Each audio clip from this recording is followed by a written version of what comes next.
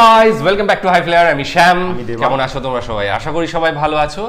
আজ আমরা যে ভিডিওটা দেখব এটা গতকাল আমাকে আমাদের একজন খুব ভালো ফ্রেন্ড সাজেস্ট করেছে। তো সেই ভিডিওটা অ্যাকচুয়ালি ফেসবুকে দেখা হয়েছিল এবং পরবর্তী সময়ে সেটা আমি ইউটিউবে খুঁজে দেখলাম। হ্যাঁ ইউটিউবেও রয়েছে। তো আজকে সেই ভিডিওটা নিয়েই কথাবার্তা হবে এবং এটা অবশ্যই একটা মানে আমি বলব প্রশাসনিক একটা বৈঠক। হ্যাঁ, প্রশাসনিক বৈঠক, হ্যাঁ, একদম। প্রশাসনিক বৈঠক। বলেছিস। এবং যার সঙ্গে ধর্মের একটা লিংক রয়েছে এবং সেখানে ধর্ম নিয়েই কথা বলা হয়েছে। তো টাইটেলটা হ্যাঁ হ্যাঁ বল। টাইটেলটা বল। ধর্ম নিয়ে নারায়ণগঞ্জ জেলা প্রশাসকের অসাধারণ বক্তব্য। হ্যাঁ তো এটাই ছিল টাইটেল এবং তার বক্তব্যটা আমি কিছুটা শুনেছি ঠিক আছে? এত অসাধারণ লেগেছিল এবং পরবর্তী না আমি তুই প্রথমবার শুনছিস আমিও কিছুটা শুনেছি। তারপরে শোনা হয়নি কারণ কিছু একটা কাজ পড়ে গিয়েছিল। তো পুরোটা শোনা হয়নি। তো যাই হোক আজকে আমরা সেই ভিডিওটা নিয়ে আসছি এবং নারায়ণগঞ্জ নিউজ এই চ্যানেল থেকে নেওয়ার ডেসক্রিপশন বক্সে লিঙ্ক দিয়ে রাখব। সেখানে গিয়ে অরিজিনাল ভিডিওটা দেখো এবং সাথে সাথে চ্যানেলটাকে লাইক শেয়ার সাবস্ক্রাইব করে দিও।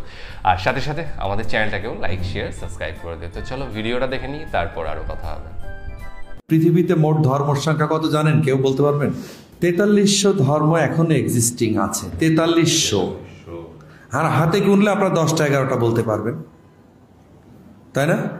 এরপরে যদি আমরা মুসলমান ধর্মকে একটু বিশ্লেষণ করি, এর গ্রুপিং কয়টা ডেফিনেটলি কেউ বলতে পারবেন না কত গ্রুপিং আছে। এত গ্রুপিং আছে আমাদের ভিতরে। হিন্দু ধর্মের ভিতরে ব্রাহ্মণ থেকে ব্রাহ্মণ, বৈশ্য, শূদ্র, তারপরে কি, ক্ষত্রিয়, কত রকম। এই বুদ্ধ ধর্মের ভিতরে হীনযান, মহাযান আরও কি কি আছে? আরও গ্রুপ আছে না? হ্যাঁ। তো এই যে খ্রিস্টানদের ভিতরে আপনারা জানেন যে দুই গ্রুপের ভিতরে ক্যাথলিক, তারপরে কি যেন হ্যাঁ ওনাদের সাথে প্রোটেস্ট্যান্ট, এদের ভিতরে মারামারি গল্প আমরা অনেক শুনেছি। দেখেন, আমরা এই যে ধর্মের কথা বলি, ধর্ম তো আসছে ধৃ, ধারণ থেকে, ধারণ, হৃদয়। হৃদয়ে ধারণ করা। আর হৃদয়ে কি ধারণ করতে হয়? আমাদের ওই যে, আমার বুদ্ধ ধর্মের ভাই বলে গেছেন যে ভালোবাসা, হিংসা না করা, চুরি না করা ব্যবিচার না করা, তাই না? ব্যবিচার না করা, মদ, জুয়া, গাজা, এগুলো থেকে অ্যাভয়েড করা। এই কোন ধর্মে এই কথাগুলো বলা নাই? সব ধর্মের। যে পৃথিবীতে বসবাসরত অবস্থায় মানুষ, যে কারণে মানুষ, আশরাফুল মাকলুকাত যে কারণে, তার অন্যতম বিষয় হচ্ছে যে সে তার ব্যবহার মানুষকে সম্মান করে, তার সৃষ্টি আছে, সে মানুষের পাশে দাঁড়ায়, এই কারণে তার আশরাফুল মাকলুকাত। আশরাফুল মাকলুকাত কিন্তু বলা হয়নি মুসলিম। কি মুসলিম কি আশরাফুল মাকলুকাত? মানুষ আশরাফুল মাকলুকাত। মানুষ মানে কি হিন্দু না? মানুষ মানে কি খ্রিস্টান না? বুদ্ধিস্ট না? সবাই। তাহলে আশরাফুল মাকলুকাত কেন আশরাফুল? কারণ হচ্ছে যে সে তার ব্যবহার। সে মানুষকে, মানুষের খারাপ আর মন্দের আলাদা করতে পারে। এই জন্যই সে আশরাফুল মাকলুকাত একবার মহানবী সাল্লাহ সাল্লাম এক জায়গায় তার সাহাবিদের নিয়ে আছেন, পাশ দিয়ে একটা লাশ নিয়ে যাচ্ছে। মহানবী সাল্লাহ সাল্লাম দাঁড়ায় পড়লেন। দাঁড়ায় পড়ার পরে পাশের থেকে এক সাহাবি বলছে হুজুর, উনি তো ইহুদি। তো বলছে, ইহুদি বলে কি মানুষ না? কি, ঠিক কি না? হাত পরিষ্কার হাদিসের কথা। উনি ইহুদির লাশ তাকেও সম্মান করছেন। মজলুমের ব্যাপারে বলা হয়েছে মানে যারা নির্যাতিত, দরিদ্র। বলা হয়েছে যে তাদের প্রতি যারা দুর্বল, তাদের প্রতি কোনো অত্যাচার করা যাবে না। কারণ মজলুম এবং আল্লাহ তালার মাঝে কোনো ডিস্টেন্স থাকে না। অ্যাকর্ডিং টু ইসলাম ইসলাম এইভাবে বলেছে, যে যে ধর্মের হোক না কেন তার প্রতি জুলুম করা যাবে না কারণ ওই গরিব মানুষটা ওই অসহায় মানুষটা এবং তার এবং আল্লাহর মাঝে কোনো পর্দা থাকে না ডিস্টেন্স নাই। আল্লাহ তালা অসন্তুষ্ট হন। নবী করিম সাল্লাহ সাল্লাম আমাদেরকে নির্দেশনা দিয়েছেন যে তোমরা কোনো অমুসলিমের প্রতি অবিচার করো না। তাহলে কেয়ামতের দিন আমি অমুসলিমদের পক্ষ নিব। কি ঠিক কিনা? নবী করিম সাল্লাহ সাল্লাম বলছেন যে কোনো অমুসলিম সে যে ধর্মেরই হোক না কেন তার প্রতি যদি ইনজাস্টিস করা হয়, নবী করিম সাল্লাহ সাল্লাম বলছে, কেয়ামতের দিন আমি ওই অমুসলিমের পক্ষ অবলম্বন করব। ইসলামের শিক্ষা এরকমই। সকল ধর্মের শিক্ষা এরকম। আমরা পালন করি ভিন্নভাবে। আজকে দেখেন, আমি মঞ্জুরুল হাফিজ এই সময়ে জন্মগ্রহণ করেছি একটা মুসলমানের ঘরে। আমার কি কোনো ক্রেডিট আছে এই জন্মগ্রহণে? কোনো ক্রেডিট আছে? আমি কি আগের থেকে সিদ্ধান্ত নিয়েছিলাম যে আমি এই ঘরে জন্মগ্রহণ করব? মোহাম্মদ শহীদ ইসলামের ঘরে। মুসলমানের ঘরে না হলে আমার জন্ম হবে না। তাহলে আমি যদি মুসলমান হিসেবে আমি বলতে পারি, আলহামদুলিল্লাহ, আল্লাহ আমাকে একজন মুসলমানের ঘরে জন্ম দিয়েছেন। কিন্তু যে খ্রিস্টানদের ঘরে জন্মগ্রহণ করেছে, সে কি ইচ্ছাকৃতভাবে হয়েছে? যে হিন্দু ধর্মে গ্রহণ করেছে থেকে ইচ্ছাকৃতভাবে হয়েছে? বুদ্ধিস্ট কি ইচ্ছাকৃতভাবে হয়েছে? এটা যদি পূর্ব নির্ধারিত হয়ে থাকে আপনি তাকে খারাপ বলবেন কেন? আমি কি বলার অধিকার রাখি? আমি যদি মানুষকে দাওয়াত দিই ইসলামের পথে, বা যে কোনো ধর্মের পথেই দাওয়াত দিক না কেন এটা হৃদয় দিয়ে, আত্মা দিয়ে, আপনার ভালো কাজ দিয়ে তাকে দাওয়াত দিতে হবে। আমার এই দেশে মুসলমানরা যখন এসেছিল, প্রথমের আগে একদিন বলেছিলাম, এই ধরেন মহানবী সাল্লাহ সাল্লাম আল্লাহ তালা তাকে দুনিয়ার থেকে নিয়ে যাওয়ারও প্রায় পাঁচশো বছর পরে। বারোশো সালের দিকে এই দেশে মুসলমানরা মুসলমান ধর্ম প্রচার করতে আসে। তখন কার বাড়ি খেয়েছিল? কার বাড়ি উঠেছিল? তখন তো এই এলাকায় অধিকাংশ মানুষ হিন্দু ছিল, নাহলে বুদ্ধিস্ট ছিল। তাদের এত মুসলমান কীভাবে বানিয়েছে? তাদের ভালো ব্যবহার। মানুষের পাশে দাঁড়ানো, সত্য কথা, ন্যায়নিষ্ঠতা। খ্রিস্টানরা বিভিন্ন জায়গায় যেদিকে মানুষকে দাওয়াত দেয়, মানুষের পাশে দাঁড়ায়। এই যে আপনারকে আপনার ধর্ম দেখে আপনার দিকে এগিয়ে আসবে ডেফিনেটলি প্রথমত আপনার বিহেভিয়ার আর আপনি যদি লাঠি দিয়ে মারেন, তো হৃদয়ে নাম লিখতে হলে আরেকটা হৃদয় দিয়ে লিখতে হয়, তার অস্ত্র হচ্ছে ভালোবাসা। দৃষ্টান্ত স্থাপন, লাঠি দিয়ে নয়, অস্ত্র দিয়ে নয়। অস্ত্র দিয়ে ধর্ম, মানুষকে ধর্মান্তরিত করা যায় না। তাহলে ইন্ডিয়াতে দুই তিনশো বছর ধরে মুসলমানরা রাজত্ব করেছে, একক রাজত্ব করেছে। তার্কিসরা সারা অর্ধেক পৃথিবীর সাম্রাজ্যের মালিক ছিল। তারা তো অস্ত্র দিয়ে সব হিন্দুকে মুসলমান বানাতে পারে নাই। খ্রিস্টান পৃথিবীর সবচেয়ে এখন বড় ধর্ম হচ্ছে খ্রিস্টান। তারপরে হচ্ছে মুসলমান। কিন্তু আপনারা কি জানেন, যারা কোনো ধর্মে বিশ্বাস করে না, এই সংখ্যা কত? কেউ জানেন? না sixteen percent one six sixty না ওয়ান সিক্স পার্সেন্ট মানে দেড়শো কোটি মানুষ এক সরি একশো দশ কোটি মানুষ পৃথিবীতে তারা কোনো ধর্মেই বিশ্বাস করে না। না ইসলাম ধর্ম, না খ্রিস্টান ধর্ম, না বুদ্ধিস্ট ধর্ম, বিশ্বাস করে না। তারা মনে করে সৃষ্টিকর্তা বলে কিছু না, আমরা অটোমেটিক জন্ম অটোমেটিক খাচ্ছে অটোমেটিক মরে যাব। মরে যাওয়ার পরে কোনো বিচার আচার নাই। এদেরকে ইংলিশ বলে এথিস্ট ঠিক আছে? এথিস্ট বলে বিশ্বাস করে না। একটা হচ্ছে থিস্ট আমরা যারা বিশ্বাস করি এথিস্ট হচ্ছে যারা বিশ্বাস করে না। তাহলে দেখেন আপনি কার বিরুদ্ধে যুদ্ধ করতেছেন? আসেন, যুদ্ধ করি। আপনার ধর্ম কত ভালো? আসেন, প্রমাণ দিই, ভালো ব্যবহার করে। আপনার ধর্ম কত শ্রেষ্ঠ? আসেন, মানুষের সেবা করি। প্রতিবেশী শখ হক আদায় না করে আপনাকে বলা হয়েছে, আপনি বেহেস্তে যাইতে পারবেন না। প্রতিবেশী মানে তো বলা হয়নি মুসলমান। আপনি কি সেই কাজটা করছি? আমি চাপিয়ে দিচ্ছি কেন? বিশ্লেষণ করেন ধর্মকে নবী করিম সাল্লাহ সাল্লামের পরে এবং তার সাহাবিরা বাদ দিয়ে। অধিকাংশ ক্ষেত্রে ধর্মকে ইউজ করা হয়েছে ব্যক্তি স্বার্থে, গোষ্ঠীর স্বার্থে। গোষ্ঠীকে নিয়ে, একটা টার্গেট নিয়ে আমার ধর্মকে আমি ইউজ করেছি। আমি তো আমার ধর্মকে কাউকে লিজ দেই নাই। আমরা তো প্রতি মুহূর্তেই আল্লাহ তালার কাছে প্যাগোডায় যাই, মসজিদে যাই, মন্দিরে যাই, যে সবসময় জোড়হাত করি। এইভাবে প্রার্থনা করি, কেন? আমার ভুল হতে পারে, ক্ষমা করে দাও। কেউ কি গ্যারান্টি দিতে পারবে যে আমি একদম পাপের ঊর্ধ্বে? এই গ্যারান্টি কেউ দিতে পারে? উনি পাশে বসে আছে, উনিও বলতে পারবেন যে বুদ্ধিস্ট যিনি। কি? কোনো গ্যারান্টি আছে যে আমি কোনোই জীবনে পাপ করি নাই? গ্যারান্টি নাই। আমরা তখন ক্ষমা চাই, মাপ চাই, পানা চাই। ঈশ্বর, আল্লাহ, ভগবান, তুমি ক্ষমা করে দাও। আমি যত জ্ঞানীই হোক দেখবেন যে হিন্দুরা যে মা সরস্বতীর কাছে বলে জ্ঞান দাও, কেউ বলে কারোর কাছে বলে সম্পদ দাও, কারও বলে ধৈর্য শক্তি দাও, কেউ বলে মেধা দাও, তার মানে কি? আমি সম্পূর্ণ না, একমাত্র সৃষ্টিকর্তা তিনিই সম্পূর্ণ, তার মৃত্যু নাই, জন্ম নাই। তিনি আছেন, থাকবেন। আমরা এই সংক্ষিপ্ত সময়ের জন্য আসছি। আগামী একশো বছর পরে আপনারা কেউ থাকবেন এটা গ্যারান্টি দেওয়া লিখে দেওয়া যায়।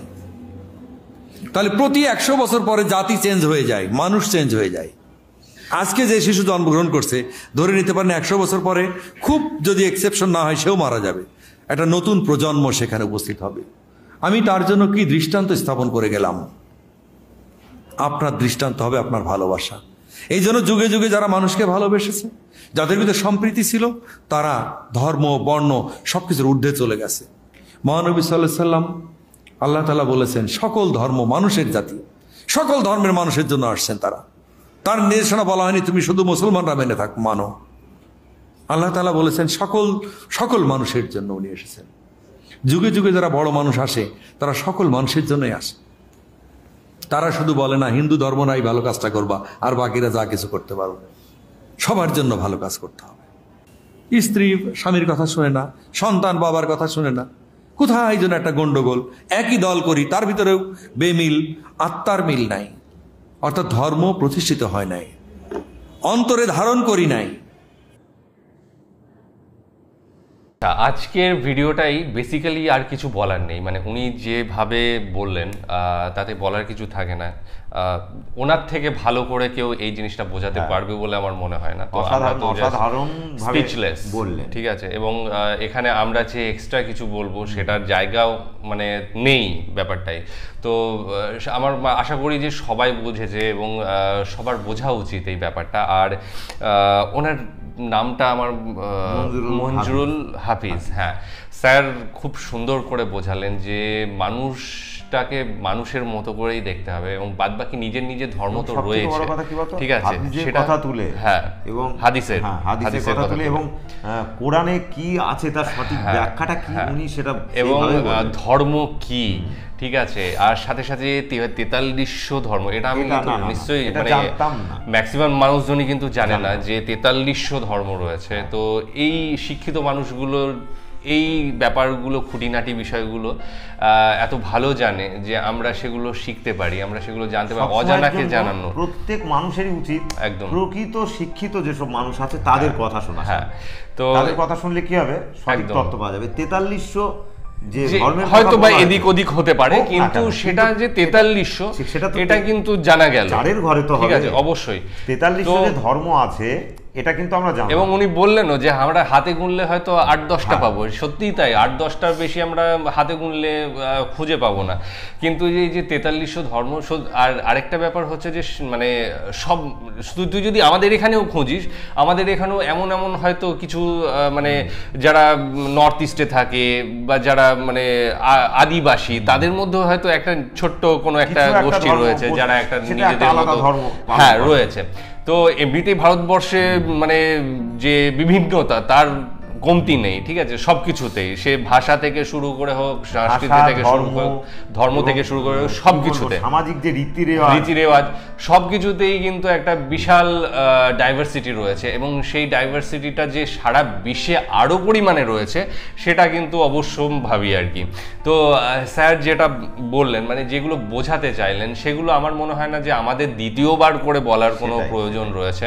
এত সুন্দর করে এবং যাদের ঢোকার তাদের কিন্তু অবশ্যই ঢুকবে ঠিক আছে? এবং খুব ভালোভাবে ঢুকবে এবং ভালো ভালো লাগার জায়গা। করে একদম। সুন্দরভাবে বললেন। হ্যাঁ। আর যে কথাগুলো আমি বলব মনে গেঁথে নেওয়ার মতো হ্যাঁ। এমন ভাবেই বললেন। হ্যাঁ উনি বললেন যে।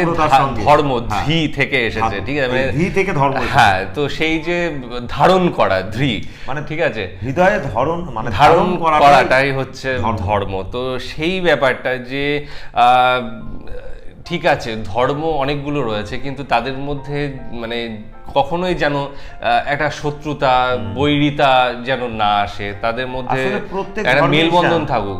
মানুষ আগে হ্যাঁ সেইটাই। প্রত্যেক ধর্মের যে ন্যায় নীতিগুলো হ্যাঁ। আছে না সেগুলো কিন্তু একদম।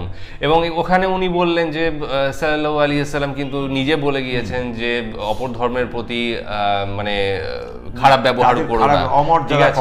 এবং আল্লাহ তাআলা নিজেও বলেছেন যে আহ, মানে যে গরিবের ওপরে তুমি অন্যায় করছ সে কিন্তু আমার খুব কাছের ঠিক আছে? দেখলে একটা কথা উনি বললেন এটা আছে যে অমুসলিম যারা তাদের প্রতি নির্যাতন করবে না তাহলে কেয়ামতের দিন আমি তার পক্ষপাত এবং সেটা শুধু কিন্তু ইসলামিক গ্রন্থে রয়েছে এমন নয় কিন্তু এটা কিন্তু সব ধর্মেই বলা হয়েছে ঠিক আছে? শান্তি ভালোবাসা এই কথা কিন্তু এমন কোনো ধর্ম নেই যে যেখানে বলা হয়নি এই ব্যাপারটা ঠিক আছে? প্রত্যেক ধর্মেই কিন্তু বলা রয়েছে।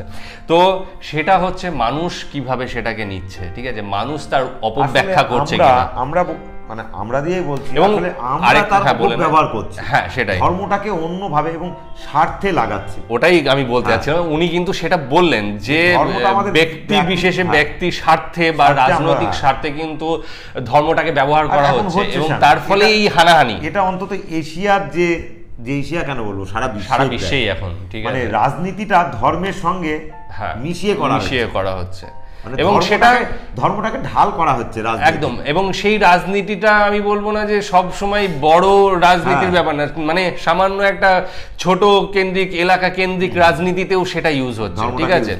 শুধু মানে- বিরাট বিরাট দেশের ক্ষেত্রে নয় মানে একটা পাড়া কেন্দ্রিক রাজনীতিতেও সেই ধর্মটাকে ইউজ করা হচ্ছে। যার জন্য আমি বলব ধর্মর অপব্যবহার হচ্ছে ধর্মকে বিকৃত করা হচ্ছে। বিকৃত করা হচ্ছে অপব্যাখ্যা করা হচ্ছে। এবং তার ফলে কিন্তু এই জিনিসগুলো যে স্যার বললেন তেতাল্লিশশো ধর্ম হ্যাঁ। আমি আমরা নিশ্চিতভাবে এটা বলতে পারি তেতাল্লিশশো ধর্মের মূল মন্ত্র কিন্তু এটাই আছে একদম সেটাই মানে যদি তাদের বইগুলোকে হ্যাঁ। খুলে দেখা যায় প্রত্যেকটা পাশাপাশি নিয়ে তাহলে কিন্তু সেখানে শান্তি ভালোবাসা এইগুলো হ্যাঁ। থাকবেই ঠিক আছে এগুলো মাস্ট কিন্তু আমরা তাদের অপব্যবহার করছি ধর্মকে বিকৃত করছি মানে একে অপরের বিরুদ্ধে লড়িয়ে হ্যাঁ, দিচ্ছি এবং ধর্মের যে ন্যায় নীতিগুলো আছে হ্যাঁ। আমরা সেগুলো মুখে আওড়াচ্ছি কিন্তু। বাস্তবে বাস্তবায়ন হচ্ছে না। বা করছি না একদম যার জন্য আজকে বলব হ্যাঁ। ধর্মটা একটা লড়াইয়ে পরিণত হয়েছে সেটাই।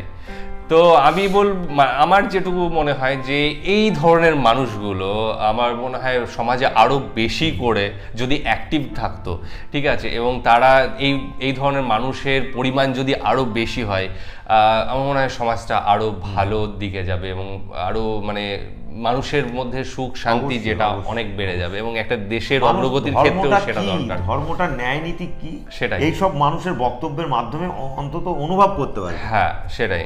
এবং সাথে সাথে যে নিজের পথ চলা নিজের জীবন এগিয়ে নিয়ে যাওয়া সেটাও কিন্তু অনেক সরল হয়ে আসবে এবং এই সমস্ত মানুষের যে জ্ঞানের পরিধি রয়েছে সেগুলো কিন্তু অনেক মানে সামাজিক ভালো কাজে ইউজ করা যেতে পারে। যেটা এখানে আমরা দেখছি অলরেডি যে বাংলাদেশ সরকারের তরফ থেকে উনি যেহেতু সরকারি মানে কর্মচারী সেহেতু অবশ্যই তিনি সরকারের তরফ সরকারি- থেকেই বক্তব্যটা দিচ্ছেন এবং প্রশাসনিক হ্যাঁ প্রশাসনিক কোনো বৈঠক হ্যাঁ, ঠিক আছে একটা প্রশাসনের একটা আমার মনে হয় সর্বধর্ম সমন্বয় কোনো একটা বৈঠক হ্যাঁ, হচ্ছে বা সেই ধরনের কিছু আর একটা। কথা যে এই ধরনের পদক্ষেপ এটা কিন্তু আমার খুব ভালো লেগেছে খুব ভালো লেগেছে এবং সত্যি কথা প্রশাসনিক যে এই ধরনের পদক্ষেপ একদম। নিচ্ছে বা নেয়। এটা খুব ভালো দিক তো আহ, নারায়ণগঞ্জ আহ, জেলার জেলা শাসককে অসংখ্য ধন্যবাদ। স্যার আপনি যে কথাগুলো বললেন সেগুলো যদি সত্যিকারের মানুষ হয়ে যদি শোনা যায় সেইগুলো সেগুলো যদি নিজের জীবনের ওপরে প্রতিফলিত করা যায় এবং সেগুলো ব্যবহার করা যায় আমার মনে হয় সমাজটা আরও ভালো হয়ে উঠবে। সমাজের মানুষের মধ্যে যে হানাহানি বৈরিতা সেগুলো থাকবে। আমি তো সমাজের একজন। অবশ্যই। আমি যদি নিজেকে বদলাতে পারি তাহলে সমাজ হ্যাঁ বদলাবে। এবং জানিস তো একটা জিনিস এই ধরনের মানুষ মানে যারা কথাবার্তা বলে এদেরকে আরও মানে ওপেন করা দরকার। আরও এই ধরনের আমি শুধু বলব না প্রশাসনিক বৈঠকেই। আমার মনে হয় বিভিন্ন জায়গায় এই ধরনের প্রোগ্রাম বা কিছু একটা করে এই ধরনের মানুষগুলোকে সমন্বয়। হ্যাঁ মানে হ্যাঁ। সেটা শুধু ইসলামিক নয়। সেটা হিন্দু হতে পারে সেটা খ্রিস্টান হতে পারে সেটা ইহুদি হতে পারে এই ধরনের মানুষগুলোকে এনে হ্যাঁ। তাদের বক্তব্য পেশ করলে আমার মনে হয় অনেক বেটার হ্যাঁ মানুষের কি বলতো যারা সাধারণ মানুষ আছে তাদের অন্তত অন্তরে গাঁথা থাকবে সেটাই। বিষয়বস্তু এবং হ্যাঁ। ধর্মের যে নীতি ন্যায় নীতিগুলো সেগুলো আমার মনে হয় গোড়া যেসব ধার্মিক মানুষ আছে সেটা সব ধর্মের ক্ষেত্রে অবশ্যই তাদের বক্তব্য থেকেও এনাদের বক্তব্য শুনলে আমার মনে হয় পারফেক্ট যেটা সত্যিকারের জানার দরকার সেটা জানা যায়। হ্যাঁ। তো যাই হোক খুবই ভালো লাগল আজকে যে প্রোগ্রামটা যে ভিডিওটা দেখলাম এবং অসংখ্য ধন্যবাদ স্যার আপনাকে এত সুন্দর বক্তব্য আপনি দিলেন এবং প্রত্যেকটা মানুষের উপকারে লাগবে। বিশেষ করে মানুষ শুধু ব্যক্তিকেন্দ্রিক বলব না পুরো সমাজটার চিত্র পাল্টে যাবে উনি যেভাবে কথাগুলো বললেন। এবং তাই অবশ্যই ধন্যবাদ তার প্রাপ্য এবং আমরা মানে সেই কৃতজ্ঞতা থেকেই তাকে ধন্যবাদ জানালাম। আজকের ভিডিও তোমাদের কেমন লেগেছে জানিও কমেন্ট সেকশনে অবশ্যই জানিও তোমাদের কি মতামত রয়েছে। ডিসক্রিপশন বক্সে লিঙ্ক দিয়ে রাখব সেখানে গিয়ে অরিজিনাল ভিডিওটা দেখো এবং সাথে সাথে চ্যানেলটাকে লাইক শেয়ার সাবস্ক্রাইব করে দিও। আজকের মতো এখানেই শেষ করছি আগামী দিন আবার আসব অন্য কোনো ভিডিও নিয়ে ততক্ষণের জন্য। Stadium by